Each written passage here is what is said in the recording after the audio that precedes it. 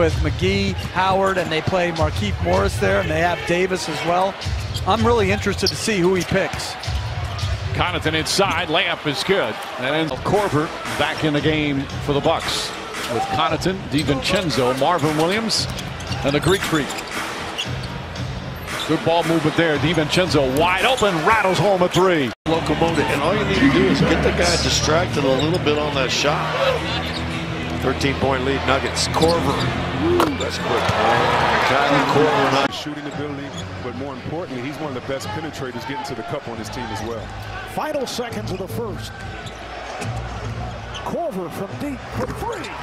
His seriousness of approach and his humility. Rondo goes one of two. They were in the penalty. That's why the free throws. Williams nails it. His first year with Golden State, he's lost a ton of weight. And you can see his athleticism. Connaughton drives and finishes that one done.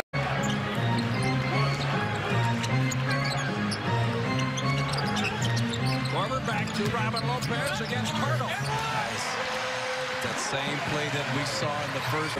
Three players that can get you buckets at any time, but are they playing cohesive? Are they together? And is the offense fluid? Here's Kyle Korver who just came on and hits the three.